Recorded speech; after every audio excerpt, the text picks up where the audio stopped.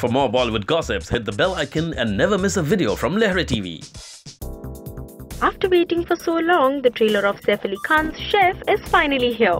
While we are yet to understand if the audiences has loved the trailer or not, we surely do know that Saif's beloved wifey Kareena Kapoor Khan has already given it a thumbs up.